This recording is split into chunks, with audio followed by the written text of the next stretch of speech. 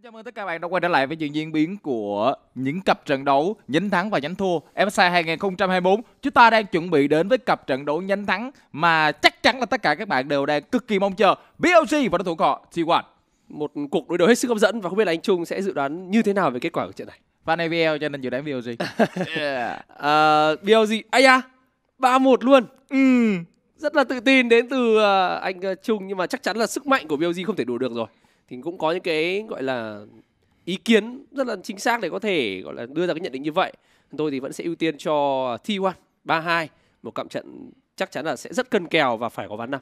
Và cái quan trọng hết là chúng ta cũng sẽ rất là mong chờ mong chờ hơn rất nhiều so với lại ừ, cặp đụng độ giữa T1 và các thành viên của T2 Sport tại vì nên nhớ đây là cuộc đại chiến của hai khu vực và đây là cuộc đại chiến của toàn Trung và toàn Hàn.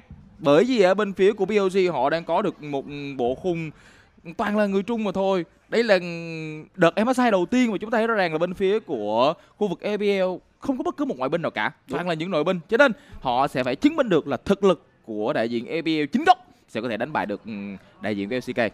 Và cái câu chuyện giữa T1 và BLG cũng đã có rất nhiều những cái biến cố ở trong đó. Tại MSI năm ngoái thì BLG là người khiến cho T1 phải ôm hận. Nhưng đến chung kết thế giới thì T1 cũng đã cho thấy được cái sức mạnh của mình để có thể hạ gục được BLG. Và đến với kỳ MSI năm nay, khi mà LPL là sân nhà, thì không biết được rằng cái mục đích của bên phía BLG họ sẽ muốn rửa mối nhục tại chung kết thế giới ờ, và giữ tiếp cái truyền thống là một trong những khu vực mạnh nhất mỗi khi đến với kỳ MSI không đây? Đúng là như vậy, tôi cũng đang rất mong chờ là liệu các thành viên của bên khu vực BOG, xin là bạn là bên khu vực của EPL, liệu họ có thể tiếp tục giữ nguyên được cái truyền thống, một truyền thống mà từ hồi đó giờ chúng ta thấy rất nhiều ờ, mỗi khi mà MSI xuất hiện. Đó chính là các đội khu vực EPL luôn luôn sẽ có được những chiến thắng. Bất chấp cho câu chuyện sau đó những đợt chung kết thế giới thì LCK lại đội lên ngôi họ lại là nhà vua của chung kết thế giới. Nhưng mỗi khi nhìn về MSI thì bất cứ một đội EPL nào cũng có thể được gọi là một ứng cử viên. Đồng ý với kính của anh Trung. Rõ ràng BLG năm nay họ đang mang ra sân với đội hình mạnh nhất rồi. ừ. Năm ngoái thì ờ, họ đã có một đường giữa là Yagao thì rõ ràng là so với Nai thì đó là một cái sự nâng cấp còn vẫn giữ một bộ khung đó bin ở đường trên xuyên trong khu vực rừng và đường dưới vẫn sẽ là Elk và On bộ đôi có cái khả năng tấn công cực kỳ mạnh mẽ nhưng đối đầu ngày hôm nay với họ vẫn sẽ là một T1 giữ nguyên hàng ngũ từ trong ờ, một khoảng thời gian gần đây rồi vẫn sẽ là rút đường trên Honor đi rừng Faker đường giữa của IC và Keria Ờ, không có quá nhiều những cái sự thay đổi và rõ ràng lối đánh của họ vẫn như vậy rồi, vẫn là một đánh cực kỳ công hiến và có rất nhiều biến số Ngày hôm qua là một Gen Z với ờ, một sức mạnh ở một mức độ tối đa nhất có thể và họ cũng đã có được những bài nó khá là lạ.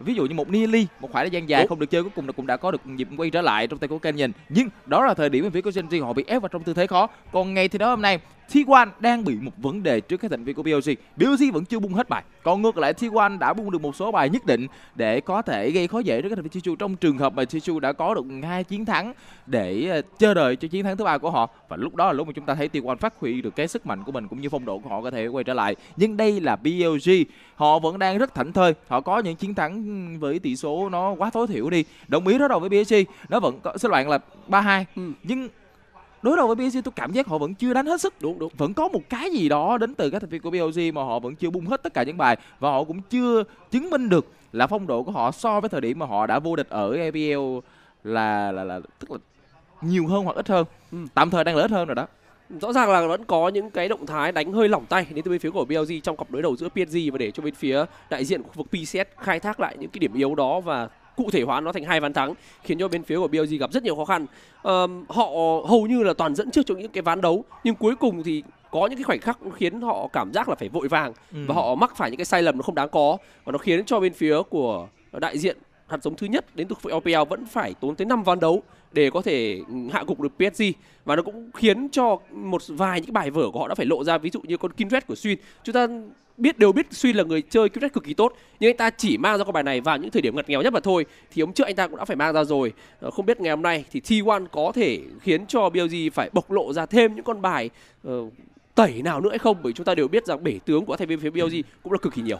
Bởi vì mỗi khi mà tới các ván thi đấu thứ năm, thường bạn sẽ đánh những vị tướng nào bạn cảm thấy tự tin nhất. Cứ vào hỏi là bạn đánh vị tướng nào bạn tự tin nhất thì bạn có thể chơi thôi. Chúng ta cũng thấy rất rõ là ví dụ ví dụ câu chuyện ngày hôm qua. Ở đó cái ván năm giữa Genji và là Sport chắc chắn là cũng sẽ có những câu hỏi về cái chuyện là Cream có muốn đánh con gì và Cream tự tin rằng là muốn đánh Akali. Chứ thật sự cái bộ khung đó mà gắn Akali vào nó vẫn chưa tôi cảm giác nó không hợp lắm. Hơi khó hơi khó. Nhưng với sự tự tin vốn có thì bạn muốn chơi vị tướng tốt nhất vị tướng tụ của mình thì đó cũng là một chứng minh rất rõ rệt là bạn sẽ có đủ sự tâm lý để có thể à, đặt nặng lên vai của mình những áp lực rất lớn về một chiến thắng. Thì ở trong ngày thi đấu này BLG cũng như là các thành viên T1 cũng tương tự vậy. Tôi cũng hy vọng là tới ván thi đấu thứ năm bắt đầu có sự tự tin. Tại vì cả hai đội vẫn còn rất nhiều những cơ hội để bước tiếp. Đây chỉ mới là một trận đấu uh, nhánh thắng mà thôi. Họ vẫn có thể di chuyển xuống khu vực nhánh thua và tìm thêm được nhiều cơ hội để có thể bước tiếp được. Cho nên biết đâu đó chính cái sự tự tin thoải mái mặt tâm lý sẽ giúp cho cấm và chọn của họ nó dễ dàng để có thể có những quyết định nó tốt hơn. Rõ ràng là nếu như để rơi trong để rơi những cái chiến thắng ngày hôm nay và phải xuống nhánh thua đánh ờ, theo kiểu là leo tháp thì rất khó bởi vì bạn sẽ phải lộ ra rất nhiều bài vở. Ừ. tôi nghĩ rằng đó sẽ là điều mà toàn thể bên BLG và bên phía của T1 cũng không hề muốn một chút nào cả. Họ sẽ muốn có được sự tập trung tối đa họ sẽ muốn có được chiến thắng trong cặp BO5 ngày hôm nay. Và chúng ta hãy cùng chuẩn bị để đến vào vượt cấm và chọn khi BLG bên phía đội xanh và T1 bên phía đội đỏ chúng ta thấy rằng một sự tôn trọng tuyệt đối cho The Faker khi mà hai lựa chọn cấm đầu tiên đến từ BLG một nhắm vào hoàng đế Suriba một nhắm vào cô này Jacob ừ, Oriana. Còn ngược lại, các thành viên T1 họ đang cấm rải rác khá nhiều. Họ đang nhắm khá nhiều vào cộng đôi mid rừng. Họ biết Xuyên và Nai đang là một cộng đôi mid rừng cực kỳ mạnh ở khu vực EPL cho nên, một Vi, một Ari rất là dễ để có thể tạo ra một lượng sát thương hỗn hợp, đều nằm trong những lượt cấm. Và sau khi đã khóa được vào hai vị tướng đường giữa thuận tay của Faker thì BLG bắt đầu hướng sự chú ý mình xuống đường dưới nơi mà Gumayoshi và Kera vẫn đang có phong độ cực kỳ tốt. Chúng ta thấy ngày hôm qua, chính xác ngày hôm kia khi mà Gumayoshi đánh bay như thế nào với những cái chất tướng xạ thủ của mình và Kera với khả năng hỗ trợ của anh ta nữa thì bắt buộc phải có những lượt cấm nhắm vào khu vực này. Nhưng BLG họ sẽ muốn lựa chọn cho El và On một kèo đấu chủ động với việc lấy đi con Kalista này và T1 đang có một vài những cái sự cân nhắc họ sẽ muốn dành cho Gumayoshi và Kera một cặp đôi có khả năng thủ hòa tốt đó là Sena chúng ta đang khá ít thấy sự xuất hiện của Kena của Senna ở trong dạng phân nhánh khi cô nàng ấy liên tục bị cấm. Đúng là như vậy. Nhưng ở trong cái đấu này, các thành viên của Thiên Quân quyết định chọn một phần bởi vì có lẽ như Gumayusi cũng đang dành một sự tôn trọng rất lớn cho Eo. Anh ta đang nghĩ rằng Eo ở trong cái đấu này, anh ta đang đánh với một cái phong thái tự tin nhất có thể. Cho nên, đó là do tại sao mà Senna và Tamken sẽ là sự lựa chọn để mục đích là phục vụ cho khu vực cánh dưới. Ngay lập tức BOG nhận ra vấn đề là T1 sẽ đánh nửa cánh trên. Họ đang bắt đầu chọn những vị tướng mà Nai xin với Bin một hồi sẽ tự tin rằng là chúng tôi có thể đánh bại được các bạn. Nhưng trước hết họ vẫn muốn ưu tiên cho khu vực đường dưới dựa trên cái khả năng thắng được. Một Reta Class đã được chọn và Bin quyết định lùi về sau chơi một con rắc với khả năng chống chịu tốt, khả năng mở tranh tốt. Chưa kể đến cái khả năng khó chịu của nó sẽ được nâng lên khá cao. Nhưng sau đó chuyển sang một vị tướng khác để có một phương án backup trong trường hợp trong khoảng thời gian đầu bán thi đấu con Kalista không đè được được. Một Toki đang được giữ nguyên đến từ này họ đang vẫn cân nhắc và sẽ là Taya để giúp khả năng đảo đường của cô nàng này diễn ra một cách hợp lý và dễ triển khai hơn để có thể đi cùng với Swin ở trong tiếng ganh và ngay lập tức Faker anh ta nhận kèo lấy luôn Koki cũng là một con tướng mà Faker chơi cũng tương đối thuần thục rồi với những tình huống bắn tên lửa định hướng của mình tương đối chuẩn xác và sẽ hỗ trợ cho uh, bên phía T1 có cái lượng sang thương ổn định trong quãng thời gian mà UFC chưa thu thập được đủ cái số linh hồn của mình. Và đến với đoạn cấm thứ hai bên phía của BLG họ vẫn còn nửa trên với rừng và đường trên chưa lộ còn bên phía của T1 cũng tương tự đó là khu vực rừng và đứng trên sẽ cần nhắm vào những vị tướng này. Javan là vị tướng đầu tiên bị loại bỏ đi đến từ T1.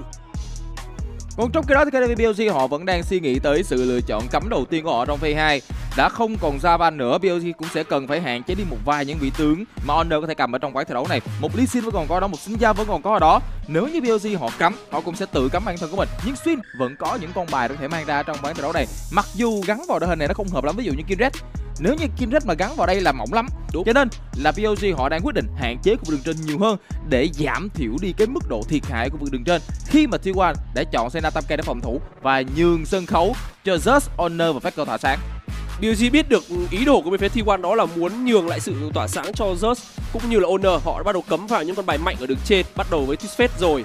Vẫn còn một lượt cấm nữa để cho hai bên cân nhắc. Uh, T1 nếu như họ thực sự muốn đánh mạnh lên cánh trên thì ờ, đây cấm vào con ờ, Wukong này cũng là tương đối ổn để giúp cho những cái tình huống thăm hỏi sớm đến từ Xuyên nó sẽ bị hạn chế đi với khả năng tấn công mạnh của Wukong đã bị loại bỏ. Vẫn còn đó là xin giao như những gì mà anh Trung đã chia sẻ để cho hai bên có thể cân nhắc với một đội hình cấu rỉa từ xa như là bên phía T1 thì xin giao cũng là con bài tương đối ngại. Thì để xem bên phía BOG có muốn lấy con bài này không hay là họ sẽ tự cấm đi.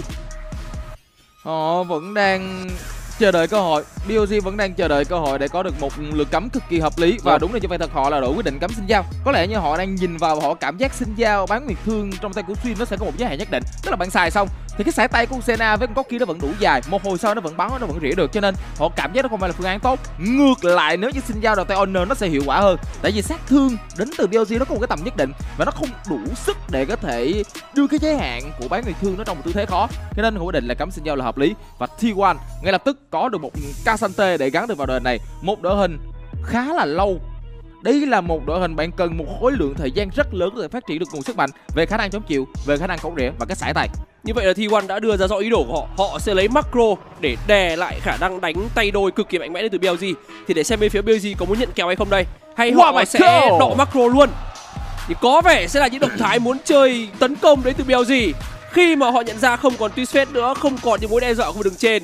Khi mà Casante đã lộ ra thì BLG ngay tức khóa vào. Đó là Ven dành cho Bin nhưng ở lần gần nhất Bin sử dụng Ven thì đó Không- không không phải là ván đấu thành công lắm. Để xem ngày hôm nay anh ta có thể chuộc lỗi với con bài này không đây? Đó là lý do tại sao mà cái BO5 của BOG lại năm ván. Đúng có nghĩa là họ họ cảm giác là đó là cặp trận đấu mà cái tỷ lệ thắng của họ khá cao rồi. Cho nên họ muốn chọn những sự lựa chọn mà họ có thể thử ở trong cái ờ, ván thi đấu ở trong cặp trận đấu này và họ đúng với câu chuyện đó. Họ đã có ven, đã từng thử của bin. Cho nên bây giờ khi mà bin quay trở lại với con tướng ven này, thì ít nhất anh ta đã có kinh nghiệm ngay từ đầu. Anh ta sẽ không hề lo sợ là mình sẽ bị ờ, những cái áp lực gì đó quá lớn. Bây giờ chỉ có một cái mà anh ta sẽ cần phải suy nghĩ là làm sao để đối đầu với những cái kèo đổi đường đến từ các team tiêu hoạch đây là điều chúng ta có thể nhìn thấy được, bởi vì mỗi lần mà ven xuất hiện là lúc nào không có đảo được chứ những vị tướng chống chịu trong khoảng thời gian ban đầu thật ra hơi khó chơi với con ven. Tôi nghĩ nếu như mà BLG thực sự muốn họ có thể đảo đường được. Với chúng ta đã thấy vào ngày hôm uh, hôm qua khi mà bên phía của Genji đánh, họ cũng sở hữu một kèo xạ thủ đó là Kalista và cũng có Vayne luôn. Thì đổi đường sớm và dồn mạng cho Kalista cũng là một phương án mà Genji đã sở hữu và họ đã thực hiện thành công khi Pay được hưởng rất nhiều mạng gục. Ngày hôm nay chúng ta cũng có với Elk trong ờ, Kalista có tay của anh ta và Bin sử dụng Vayne thì cũng có thể sẽ chơi theo đảo được. đầu tiên là uh, sẽ đi ra đường giữa để giúp cho Talia trong tay của Nike có được một chút lợi thế so với con Corki bên phía bên kia. Rồi sau đó di chuyển rừng cùng rừng di chuyển xuống cùng đường dưới. Nó cũng có thể là một ý tưởng để khai thác vào con Casante để, để xem bên phía của BLG ngày hôm nay họ có thực sự muốn làm như vậy không. Nếu chúng ta nhìn vào những gì chúng ta đang thấy được ở trong một khoảng thời gian vô cùng dài chúng ta thấy rất là rõ ràng một Casante nó sẽ dễ bị dễ bị đai rất nhiều so với lại một ven. Ven thì vẫn còn mức độ cơ động. Cái sải tay của bạn tốt, nó sẽ giúp cho bạn ít nhất là trì hoặc là bạn chạy sang những đường khác để có thể hỗ trợ. Ngày hôm qua, cháu thấy kim làm điều đó rất tốt. Ở trong ngày thứ này, tôi đang tự đặt một câu hỏi là liệu Bin có thể làm được không? Thật ra Bin có thể làm. Tại vì bây giờ, khi bọn họ nhìn qua bên phía bên kia bản đồ, hai cái nơi mà thường hay bị dính đạn trong những cái quả đảo đường là rừng với lại mít. Rừng thì sẽ bị chậm một tí xíu so với bên kia chế tuyến mid thì lâu lâu bị rỉa mấy cái bởi con ven thì đây trường hợp đó đều đang là cả hai chúng ta cùng nhau đến với ván thi đấu đầu tiên cuộc chạm trán với PLG và đối thủ của họ Thiên Quang và các bạn hãy đừng quên để lại cho những kênh phát sóng của chúng tôi những lượt like, những lượt subscribe để chúng ta có thể đồng hành cùng nhau trong suốt quãng thời gian còn lại Guest Live cũng như là quãng thời gian sắp tới tại VCS 2024 giai đoạn mùa hè. Và chúng ta hãy cùng điểm qua những vòng siêu cấp, không có quá nhiều sự đổi biến ở đây, vẫn sẽ là nhập bước chân thần tốc trong tay của Ven ờ, với Bin mà thôi, rồi là một cái tăng tốc pha với con bài Talia của Nai đường dưới sẽ là nhiều độ chết người với El một con Calista lên theo hướng tốc độ đánh. Và bên phía bên kia thì cũng không có quá nhiều những cái sự đột biến chắc cũng sẽ chỉ dừng lại ở một mức độ về mặt ừm, trao đổi chiêu thức coi, coi ai bên ai lời hơn thôi chúng ta cũng không thể nào có thể nhìn vào những cái ờ, bản ngọc được. Có một điểm khá đặc biệt đối với Zeus ở trong ván thi đấu này đó chính là anh ta quyết định cầm cái ờ, dư chấn. dư chấn. Ừ. bởi vì anh ta biết là trong khoảng thời gian đầu có thể mình sẽ bị dính một cú đài trụ. Bạn có dư chấn bạn sẽ tăng thêm mức độ chống chịu. Bạn sẽ giúp cho bản thân của mình ờ, tự đưa mình vào trong một tư thế an toàn. Và để coi ai sẽ là người chủ động đảo đường T1 đang là đội chủ động đảo đường còn ngược lại các thành viên của BLG họ cũng biết được vấn đề đó đó là lý tại sao mà ven trong tay của pin bắt đầu di chuyển nó cũng đi giữa, áp tải một vài cái lợi thế mặt dân số để gây khó dễ. Còn e và on ui e và on đánh một cái cách khác nữa. E và on đi vào sâu bên trong và thăm hỏi honor luôn. Ép cho honor phải xài cái trừng phạt ngay từ thời điểm ban đầu. Nếu như honor bị ép phải xài trừng phạt ban đầu sẽ rất là lỗ. Còn bin bin đang di chuyển và đẩy Faker trong tư thế khó, giúp cho anh này có thể bung năng lượng của mình ra để giải quyết được cái quay lính đầu tiên sẽ chỉ là những bước di chuyển áp lực để khiến cho vòng rừng của Honor bị phát hiện mà thôi. Anh ta không gặp bất cứ sự khó khăn nào cả khi mà suy anh ta khởi động vòng rừng ở ngược cánh còn lại và sẽ không có bất cứ bãi cướp rừng nào cả. tốc hành, Bin bật tốc hành của mình lên và đang liên tục gây khó dễ khiến cho cái vòng rừng từ đến từ Honor đang gặp rất nhiều những vấn đề. Honor bị mất một lượng máu, mất hai lượng máu và Honor đang cần phải bỏ chạy, bỏ chạy vô cùng nhiều là cái tầm mất thêm một lượng máu nữa. Rất khổ cực cho Honor. May mắn là anh ta vẫn có trừng phạt để ít nhất là một hồi sau anh ta vẫn có thể hồi phục lại cộng kèm với bình máu mà đang mang. Lời khen dành cho Bin với tình huống sử dụng tốc hành cực kỳ quyết đoán của vừa rồi của mình để khiến cho tốc độ đi rừng của Honor thực sự bị chậm lại. Và bây giờ thì đó là Faker, anh ta đã bị cậu máu như chúng gì chúng ta đã nói từ trước. Cặp đôi Senna và Tamken được dồn tiền với những lớp khiên trụ cũng chưa phải là một cái vấn đề gì nó quá đáng lo ngại như BLG họ vẫn đang để cho điều đó xảy ra đường dưới thì cũng đang xử lý tốt với những đợt lính đang được tích vào tôi chưa thấy những cái động thái uh, cấu máu nó quá rõ ràng đến từ bộ đôi Elk và On. Và cũng đây pin bắt đầu xuống rồi. Anh ta cấp 1 lại lăn nhào lộn chứ không phải là một cái kết án. Cho nên chỉ đơn giản là bóc đi những khiên trụ mà thôi vừa rồi nay mất con xe khá ổn. Đó là cái quay đầu tiên có xe mà anh ta mất xe một khởi đầu nó không thực sự suôn sẻ lắm vậy này. Một cú dịch chuyển cái lớp khiên đầu tiên bây giờ nó vẫn đang liên tục được ừ, bấu phiếu một cách nhiều nhất có thể. Keria anh ta đang bị dính của bắt tay đang bị tấn công xuyên đang hút vào lấy được tốc biến của Keria. Ngay lập tức tốc biến con cũng phải được bật lên. Và anh ta sử dụng cú cánh của bản thân của mình để tránh trường hợp mình nằm xuống quá sớm. Eo cũng vừa phải thoát khỏi tình huống vòng vây đến từ cái phát bắn của trụ và các thành viên BLG họ đang làm tất cả mọi thứ để giúp cho Bin có thể quay trở lại khu vực đường một cách thoải mái nhất. Một tình huống mà bên phía của T1 đã phòng ngự cực kỳ tốt với bộ đôi Sen Tham Ken khi họ đã có cột độ ba sớm, họ xuống đường dưới và hỗ trợ cho Zeus để chống khỏi một tiếng bị băng trụ.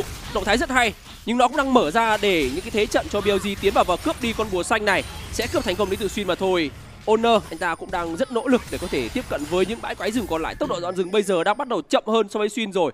Sau rất nhiều những tình huống mà Bin cũng như một đường giữa của BLG áp lực vào khiến cho anh chàng này không thể tiếp cận được với những bãi quái rừng một cách thoải mái nhất. Và còn thêm... đường giữa thì à, vẫn đang tương đối an toàn. Và thêm một cái nữa là quay lính của đường trên hiện tại nó cũng đang là một quay lính à, áp lực một tí xíu. Nó sẽ là một quay lính có thể được tích đến từ bên phía của BLG đẩy ngược lại. Nếu như Honor di chuyển nhanh hơn một tí nữa sau khi mà đang được bãi chim thì anh ta sẽ có thể cứu được bản bản thân của mình bằng cách là lấy được con cua được cánh trên. Nó sẽ ok dành cho anh ta mà thôi nó sẽ không thành nó sẽ không nhiều vấn đề lắm. Nhưng khi nhìn vào mặt thế trận nhiệm vụ của xuyên là phải lên cấp 6 càng nhanh càng tốt. Còn nhiệm vụ của honor là phải đi carry. Cho nên hai bên đều đang có những mục đích khác nhau nhưng áp lực nó lại nhẹ hơn nhìn vô xuyên và xuyên vẫn đang làm tốt những gì mình đang cần. Ít nhất là anh ta vẫn đang cấp độ 4 anh ta hơn honor một cấp độ. Một hồi sau nếu như cái thế trận nó cứ đang diễn ra như thế này cái cấp độ 6 đó có dành cho xuyên những con xe đầu tiên đều đã mất rồi ừ vâng. giữa thì sao đây? Faker Faker mất hơi nhiều máu và Faker đang cần phải lùi ra xíu. Quăng địa chấn rất hay và có thể sẽ làm cú solo kill dành cho này. Không có bất cứ một sai lầm nào trong những tình huống sử dụng chiêu thức của này và anh ta đã làm quá mượt mà đi chuẩn chỉ đến từng phát đánh thường một. Chúng ta đã bàn về câu chuyện Nai MSI như thế nào đúng không đúng. nào? Và Nai phải thể hiện một tình huống xử lý rất tốt. Cái này thì không thể nào có thể trách Faker được tại đơn giản Nai có một tình huống di chuyển quá tốt mà chưa kể đến. Anh ta là người gián tiếp được hỗ trợ bởi pin chính xác nhiều điều kiện, cho nên vừa rồi là một tình huống chiến cấp đầu. Nó chỉ phản ánh về những gì mà đáy BLC đã thực hiện được. Họ tạm thời thành công. Nhưng liệu sự hy sinh ở trong khoảng thời gian vừa rồi đến từ pin nó sẽ được đổi lại cái gì? Thật ra là bây giờ anh ta cũng đang không vui lắm. Khi mà ta nhìn phía kia tay thế rất 17 con, mà anh ta chỉ mới 10 con, thì chắc là nhìn đồng đội trước. Rồi một hồi sau anh ta mới là người có thể được ừ, tiếp được thêm đất nữa để có thể diễn thực ra anh ta là người đã hy sinh rất nhiều trong trận đầu tiên rồi cho nên đó cũng là vấn đề mà anh ta đã có thể dự đoán được từ trước và anh ta sẽ không cảm thấy bị áp lực lắm với những cái chỉ số lính đang bị thua thiệt đến từ vị trí của đứng trên bên phía T1 còn đây yeah. chúng ta sẽ được xem lại tình huống solo kill rất mượt mà đến từ này anh ta thậm chí còn có một tình huống quan hệ chấn để đoán được hướng lướt về đến từ Faker nó nó đã hiện trước ừ. Faker mới nhảy cho nên Faker không thể nào mà có được cái tình huống animation đủ để Đúng có rồi. thể nhảy qua được cái đó cái cơ chế lướt của con Corki nó khác với Tristana, cho nên bạn không thể làm được những cái ờ, tình huống như vậy giống như những gì mà Cap đã làm trong trận đấu trước kia. Còn tấn công đến từ bên phía của BLG và El đang liên tục di chuyển để tạo ra một sự áp lực. Nai cũng đang di chuyển tới xuyên cũng đang tương tự nó bị hút vào bên trong mặt rơi sóng bung ra. Hai thành viên bị kẹt lại Gumayoshi anh ta không có tốc biến và ta nằm xuống Keria không thể nào bơi bên dưới. Ngược lại, phía bên này đã có người nằm xuống đó là On. Honor làm tất cả mọi thứ để có thể hỗ trợ đồng đội của mình, nhưng không thành công. Anh ta chỉ kịp trả thù mà thôi. Ba một cho PLG đó là sức mạnh của Talia đường giữa và đó là sức mạnh với những hiệu khống chế đến từ Sejuani Koki chưa thể nào di chuyển được nhanh bằng so với một con Talia và chưa kể anh ta còn gặp những chịu chua thiệt nữa. Honor gặp thua thiệt ở đầu trận. Và đó lý do vì sao những thành viên bên phía T1 không thể hỗ trợ được cho đường dưới của mình. Cái này tôi đã nói trong cấm và chọn, tức có nghĩa là cái tác động và hai người ăn đạn lớn nhất là mid và rừng. Nếu như mid và rừng mà thọt một cái là đội hình này của T1 rất khó chơi.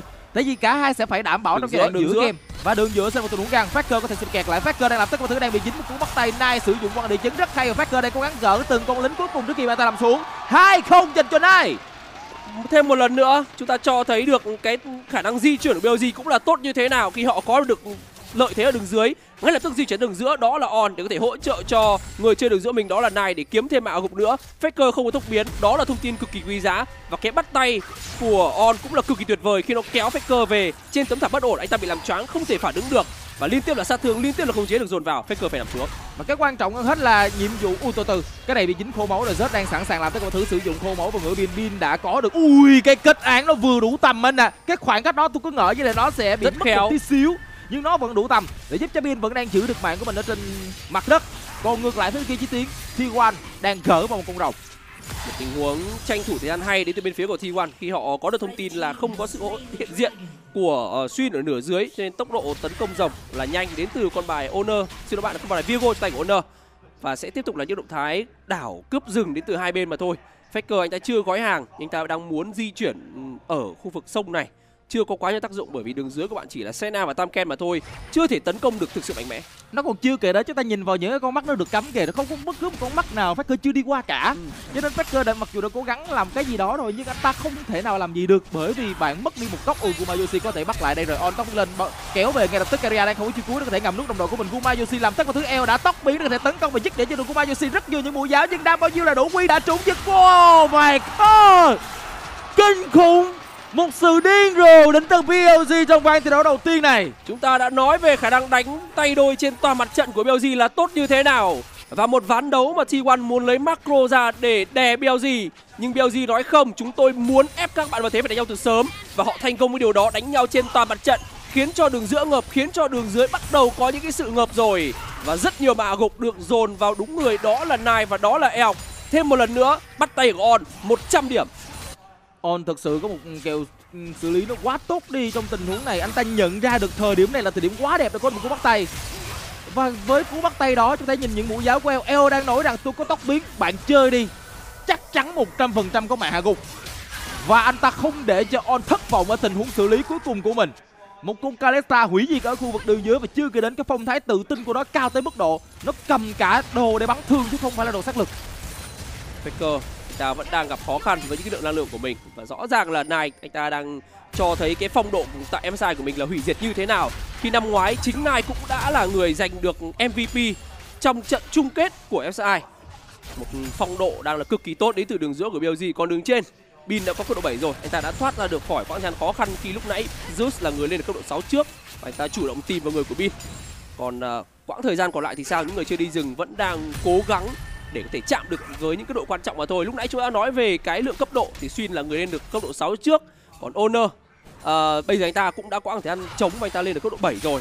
Một cái động thái ổn đến từ người chơi đi rừng của T1 nó là như thế này nè bởi vì hồi nãy xuyên anh ta dành ra một cái đống thời gian trống cái khoảng cách mà anh ta nhiều hơn so với owner đến anh ta bắt đầu đi rải sát thương của mình ra. Và anh ta đúng cái câu chuyện đó. Bây giờ ok tôi có thể là thua cấp độ bạn hay là tôi thua về điểm kinh nghiệm của bạn nhưng nếu như các cánh của tôi làm tốt nhiệm vụ, tôi chỉ việc lao lên phía trước. Và Faker đây gặp nguy hiểm anh ta bị ăn phải một quả bola bằng mặt đất xong được bung ra? Faker vẫn đang bị kẹt lại, có tấm đảm đặt ra và theo quan địa chấn nữa, tóc biến. Và ngay lập tức Faker tên tìm cái né nhưng mình là né không nổi nữa.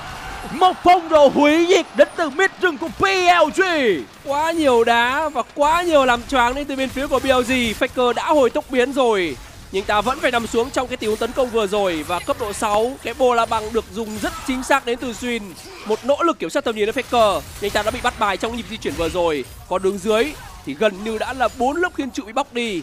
Và rõ ràng là bên phía T1 chưa thể nào hài lòng được với điều này. Đúng như anh, uh, tự nhiên quên tên giữa chừng An Khải đúng như anh Khải nói đó là cặp đôi xuyên và nai quá nhiều đá, một quả bô la bằng rồi sau đó là thêm nữa nai với tình huống phi thạch cộng kèm với chiếc cú quăng địa chấn và thêm tấm tạm bất ổn. Nó ép Faker vào trong một tư thế khó và không tranh thủ bất cứ cơ hội nào cả. Và đây chính là cơ hội El sẽ bị hất tung lên và on bắt tay. El sẽ làm cách nào để có thể bỏ chạy đây? Đang có người tới tiếp cận, một pha ngầm nút khá thành công hợp chứ này bung ra. El đang làm tất cả mọi thứ để cố gắng gỡ. El vẫn đang trong dạng cú cảnh. El không kịp đáp trả, ngược lại trước khi cú cánh được kích hoạt. Và anh ta nằm xuống. Xuyên đang muốn bắt Zeus Bin đang liên tục dí Khô máu có thể được bò hay không? Đây Khô máu có thể được bật vào phía kia tường và Xuyên vẫn đang bị kẹt lại. Zeus đang sẵn sàng cho tình huống dứt điểm được Xuyên nhưng hơi khó. Ở khu vực đường dưới tiền là mẹ gồm thứ ba giờ là T1 một tình huống băng trụ thành công đến phía của T1 và họ không phải bỏ lại bất cứ ai cả. Đường giữa thì tiếp tục là trao đổi sát thương đau đau rất đau đằng khác. rất đau. Hơi khó rồi. Cái quả phi thạch này mà mắt binh nữa là coi như Faker phải bị đẩy về đấy. Bây giờ Nai đang ép Nai đang sẵn sàng phá từng con lính và Faker vẫn gỡ được vài cú lớn trước khi bạn ta bấm về về. Một tình huống gỡ cả thành công của đường dưới. Chúng ta nói về việc owner cần phải gánh ở trong ván thi đấu này. Và anh ta khi đã farm được đủ đồ, đã đủ cấp độ rồi thì anh ta tiến xuống đường dưới. Biết được thông tin là bên phía của elk chưa có tốc biến ở thời điểm đó. Một tiếng tấn công hay đến phía của t1 lách tầm nhìn khéo đến từ Keria bắt tay thêm một nữa tốt đến từ on, nhưng chừng đó là chưa đủ để cứu được xạ thủ bản thân mình. Chiêu cuối, nó bắt được cũng tương đối là ổn, nhưng vẫn còn một YLC đứng ở ngoài tầm và anh ta có được điểm shutdown cực kỳ quan trọng này. Và tiếp tục là nhịp băng trụ thứ hai tốc biến đập choáng đến Toner tình huống xử lý kỹ năng đáng khen đến từ người chơi rừng của T1 và nhường mạng cho Honor là đúng luôn tại vì bây giờ Honor sẽ là người cần phải carry Honor, Honor với lại Faker cả hai sẽ phải đảm bảo là trong khoảng thời gian đầu tiên này cả hai phải có thể có thể gây được lượng sát thương để có thể giúp cho bộ ba còn lại có thể dễ dàng phát triển nguồn sức mạnh của mình hơn. Keria của Mayusi sẽ cần thời gian và kể cả là Cassante trong tay của Zeus, Zeus cũng sẽ cần thời gian và On đang tạo ra những áp lực vô cùng lớn để khiến cho Oner và Gumayusi bị tách ra khỏi cái ờ, khu vực bụi cỏ đó. Một trong những nơi trọng yếu để có thể giúp cho phía T1 tiếp tục tạo ra thêm vài cơ hội ở khu vực đường dưới. Faker cầm gói hàng. Faker có thể Faker đã bị ép nha. Đang biết phải xài gói hàng. Anh ta đã bắt buộc phải xài gói hàng tóc biến né từ eo. Bắt tay không thành công, chưa cứu được vật lên Oner ngay lập tức giữ cho đội thành viên W đến từ Sena cũng đã trúng được xuyên xuyên đang làm tất cả một cách những những cú vi tạch của Nai đang phát huy được tác dụng của đó. Một pha nhảy lên hất tung đầu lên chưa cứu được bật lên và On sẽ bị kẹt lại cộng kèm một Kalista đã phải nằm xuống. Xuyên đang phải bỏ chạy, mặt đây sống của Nai cũng phải bỏ chạy và lại một lần nữa một người nữa của BLG cũng nằm nữa đó là support của BLG. T1 thắng trong tình huống mà họ đang gặp nhiều khó khăn nhất. Một tình huống xử lý kỹ năng rất quái đến từ Keria khi anh ta nấp vào trong hàng rồng.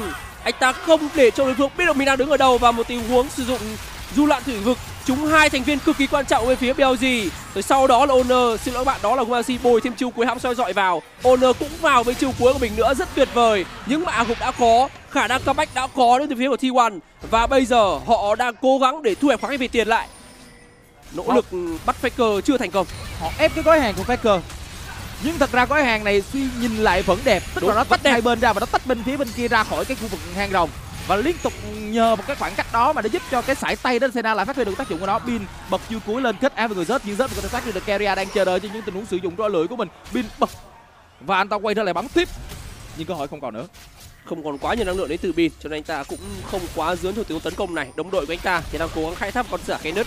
Bên phía của T1 họ chưa có quá nhiều mắt ở khu vực này cho nên tiến ra đây không phải là một điều gì đó nó quá là an toàn. Và chưa kể đến việc owner vẫn đang cầm trên người là một cái mạng chắc đào nữa anh ta sẽ không muốn tiến vào những khu vực nguy hiểm làm gì cả. Đơn giản là dọn dẹp tiếp những bãi con vật rừng mà thôi chấp nhận nhường con dư giả cho đối phương. Như vậy BLG sẽ có rút, rút, rút thấy rồi rút thấy rồi. Bắt tay bắt tay mở đường vẫn còn bật mở đường tương đối sớm. Sẵn sàng cho tình huống vô máu hay chưa? Đây xuyên lao lên tấn công bola băng của đối thủ đang trên sẵn. Ui tốc biến lên kết án thẳng vào bên trong và rớt sẽ phải nằm xuống hạ gục dành cho on.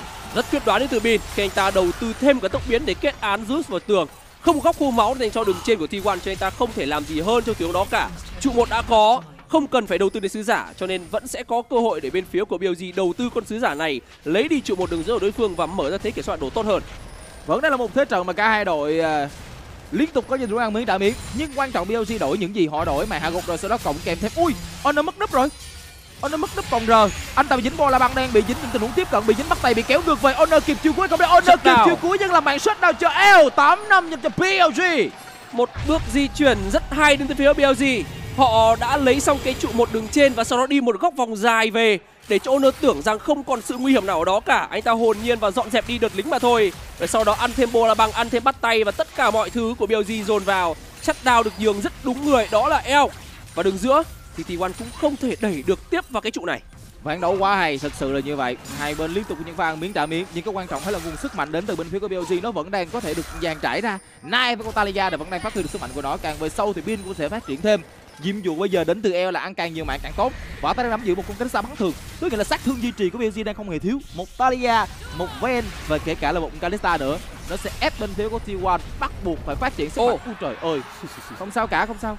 Ờ quê quê tí xíu. Nói chung là chôn chôn một tí xíu nhưng mà không sao cả. Ờ, bây giờ nó hút được thêm lần nữa coi như con sứ giả này gọi là sứ giả lời. Để coi hút được không? Vẫn đang rất nỗ lực đi từ sứ giả. Bị hất tung lên. chà nó cũng không kịp cố gắng lắm rồi đó nó nỗ lực lắm rồi đó. Hút được không? Đường dưới rút. Rút bắt pin. Mở đường được bật.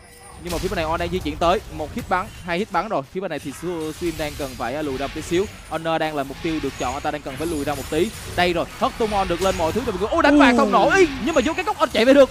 Nó mà méo phía bên phải tí xíu nữa là on đi bội. Suýt chút nữa là một tình huống hay đến từ Keria rồi. Thì cái góc đứng của on vẫn là đủ an toàn. Xuyên người ta sẽ không bị bắt lại ở đây. Dính một cái ràng buộc vẫn có thể lùi về được mà thôi uh, một phút hơn nữa con rồng mới xuất hiện nhưng cả hai bên đang cho thấy cái quyết tâm để kiểm soát con rồng này. Bên phía T1 đã có hai điểm rồng rồi còn BLG họ vẫn đang cố gắng để cắt đứt mạch rồng của đối phương. T1 sẽ cần nhiều rồng nhất có thể để có thể câu giờ và khiến cho con Senna này lụm được càng nhiều hồn càng tốt. Uh, hiện tại thì mới chỉ khoảng hơn 60 điểm hồn mà thôi chưa phải là một con số quá ấn tượng nhưng vẫn có thể là một con số mà bên phía của T1 cảm thấy tạm thời an toàn ở thời điểm này. Thực ra 60 là ổn. Ừ, đúng Tại rồi. vì ở phút thứ 18 mà 60 là ổn. Ừ. Bạn sẽ cần thêm 40 nữa. Chứ cái quan trọng là từ đây cho tới cái thời điểm đó nó sẽ là bao lâu. Chính xác. Ừ, và nếu như mà bên phía của T1 họ ép được cho tầm từ đây cho tới có khoảng 20 phút ừ, rồi tới ờ, 25 phút nữa thì biết đâu đó, biết đâu đó của Messi sẽ là người tỏa sáng được. Nó nó sẽ là cái khoảng đó. Còn tạm thời, đây sẽ là thời điểm mà BOG họ sẽ phát triển được cái nguồn sức mạnh của mình nhiều hơn nữa. Bởi vì các tuyến của họ đều đang làm rất tốt nhiệm vụ, kể cả là biến biến không biết mạng nào. Bin hiện tại cũng đang giữ được mạng rất tốt. Cấp độ anh ta cũng đang ở mức độ khá được thể khen. À, cái mà anh ta thiếu bây giờ là một vài mà hai cùng đến sẽ tỏa sáng mà thôi. Xuyên quăng và ngay lập tức Keria né một cách vô cùng điệu nghệ tóc biến né khỏi cú quăng địa chấn rồi bị kẹt lại khoét cái lò on on cố gắng bắt tay nhưng không thành công lắm. Rớt đang di chuyển tới để hỗ trợ phi thạch được bung ra từ này. Và T1 tiếp tục muốn đánh. Liên tục là những tình huống tên lửa định hướng của Faker chứ nó không trúng. Tôi cần những pha trúng của Faker trúng thì nó vào cái hộ vệ của On rồi On đang lùi. Honor đang sử dụng cái xương của mình để có thể tiếp tục đứng và lựa góc tấn công. Có hỏi còn hay không đây? Nó đang bị giảm dần. Để rút bắt buộc phải quay trở lại quan địa chấn hất Sena lên Sena bị kẹt lại rồi. Mọi thứ cho mọi người của Yoshi có ngầm nút để hỗ trợ. Nhưng không còn cái cú ngầm nút nữa. T1 sẽ phải cân nhắc câu chuyện lùi về. Họ thiếu công cụ để giao tranh đường dưới của họ đang bị đẩy bởi Bin cho nên bắt buộc Zeus phải là người lùi về phòng ngự mà thôi. Anh ta sẽ không còn có thể đứng tuyến đầu và hỗ trợ cho T1 ở khu cạnh tranh tầm nhìn nơi xứ uh, nơi con rồng này được. Cho nên vừa rồi là một nhịp hay đến từ Nai, anh ta ép cho Mercy vào trạng thái yếu máu, mất đi hồi máu, mất đi ngậm được Keria. Và rút thì sao đây? Rút mà bị ờ, chết trong pha này là ừ. coi như loạn lắm rồi đấy nha. Ui rút rút bị ao giao tranh rồi.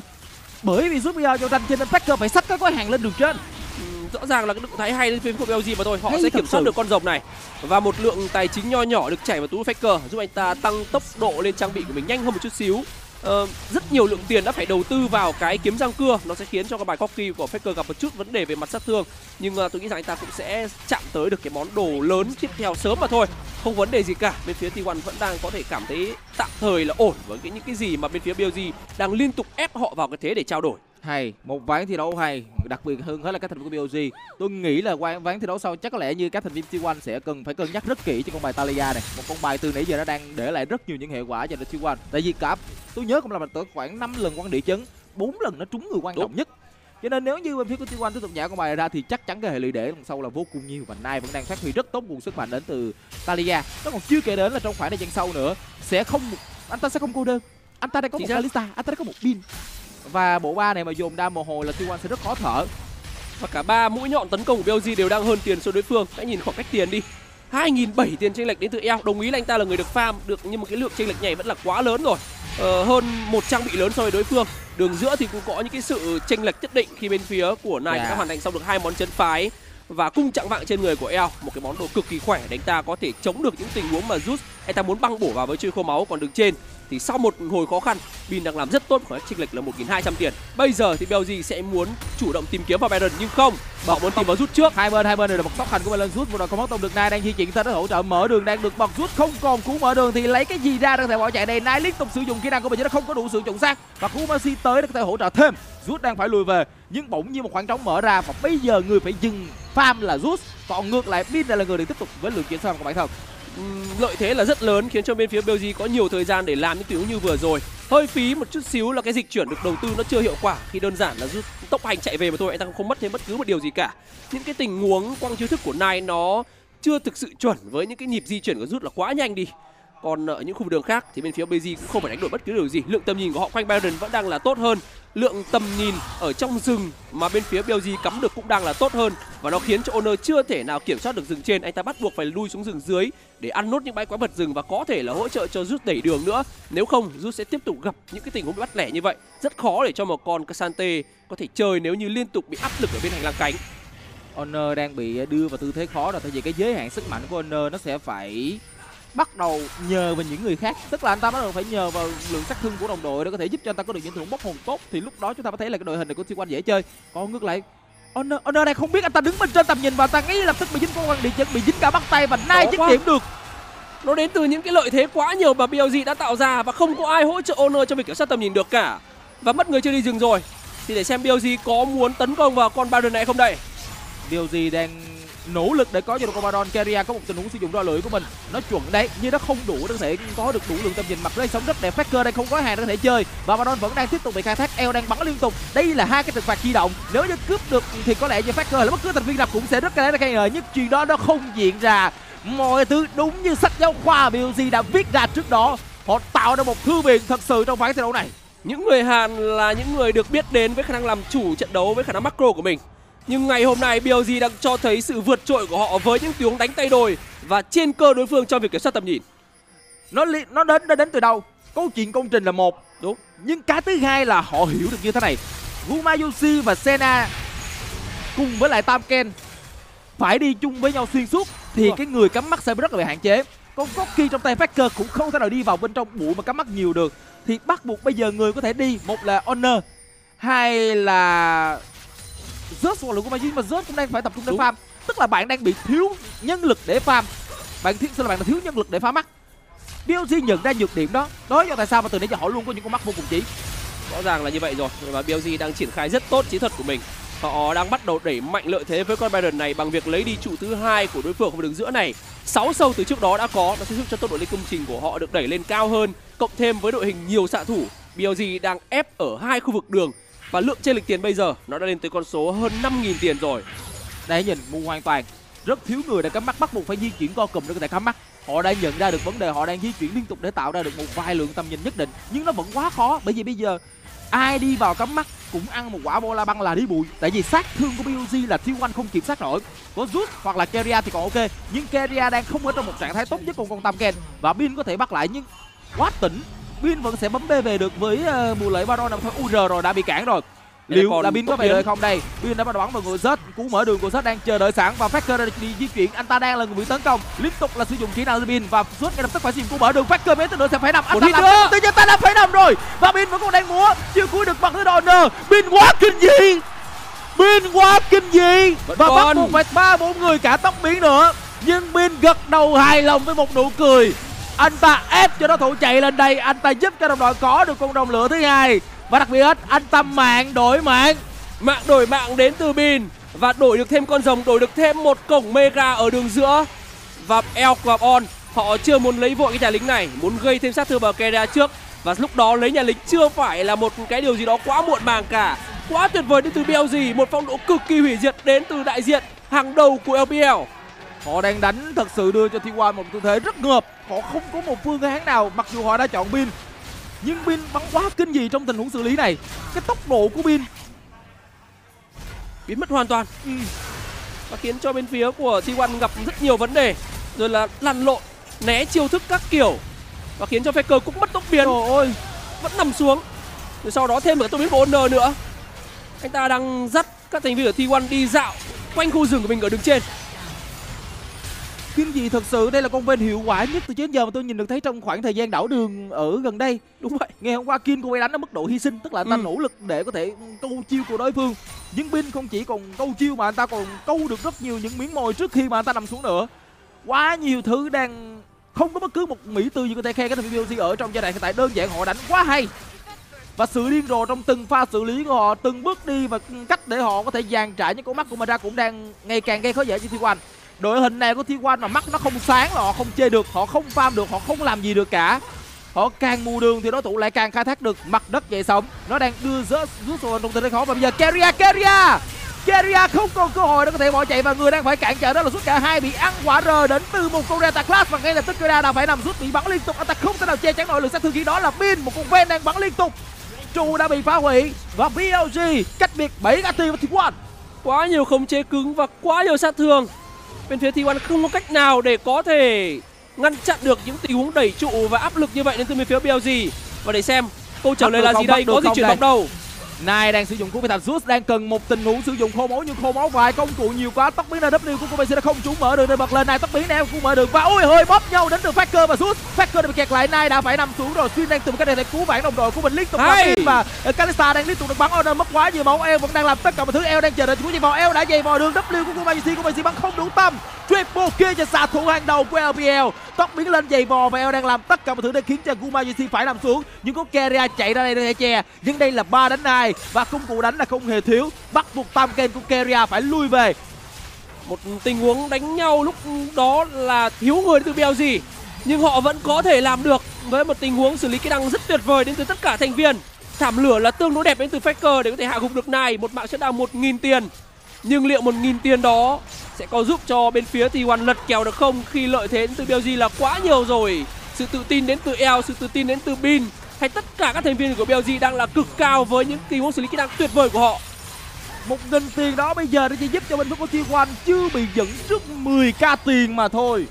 Chứ thật sự BOG đang quá hủy diệt trong ván thi đấu này 55.000,3 so với lại 46,3 BOG đang có một ngày thi đấu quá bùng nổ. Chúng ta xem lại tình huống xử lý này. Đây là tình huống xử lý mà không có pin. Đúng. Bốn người tự xử với bốn thành viên phía bên kia.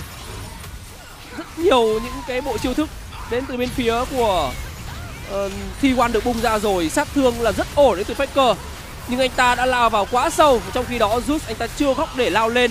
Và Samken của Kera lúc đó chưa hồi sinh cho nên chỉ có một mình rút là tuyến đầu mà thôi. Cái cú giày vò là vừa kịp thời để giúp Xuyên trở lại với cuộc chơi. Và cái vấn đề là eo lên đồ quá thông minh. Anh ta Đúng. lên cái cung dạng vàng món hai cho nên là cái khả năng chống chịu của rút thật ra nó cũng không đủ để khiến cho eo cảm thấy hoảng sợ. Và anh ta bắn liên tục vào người rút. Rút từ từ từ từ mất máu rồi trắng cả cây máu ở trong một khoảng thời gian sau nếu như ta đã sử dụng xong khô máu của mình rồi. Và với lợi thế từ bây giờ của BLG bây giờ cái cần của họ là Commodore để tiếp tục nâng cấp thêm về lượng tỷ số. Con rồng lửa cũng đang là một mục tiêu để chọn rút mất quá nhiều máu. Hãy nhìn kìa con ven và cung trạng vàng nó kinh khủng như thế nào. Cộng thêm nai nữa ba lượng sát thương hỗn hợp nó khiến cho Casante gần như bị bị trị hoàn toàn. UAC đang cần với lùi Keria cũng đang tương tự giống như vậy. T1 đang phải co cụm làm cho với bốn thành viên có thể phòng ngự. Cơ hội mở ra là rất khó. Không có góc nào cho Keria có thể trồi lên một lần nữa. Cả Bin đang liên đang làm tất cả mọi thứ, hợp chất loạn bung ra giữ cho được hai thành viên bắt tay thành công của Messi bị kẹt lại, bị hất tung lên và ngay tức nằm xuống Parker đang phải tốc biến bỏ chạy bằng mọi giá. Và Keria đang bị bắn liên tục đến từ ba hồng súng quá kinh khủng của BLG bị dính quan địa chấn, bị ăn cú phi tạch thứ hai. Keria đang bị bắn, bị dính bắt tay. Liên tục làm mọi thứ khiến cho Keria không thể nào sống được.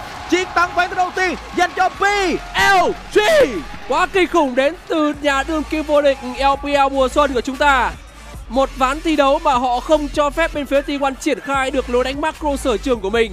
Những tình huống ép giao tranh từ sớm, những tình huống đảo đường, nó khiến cho bên phía T1 bị choáng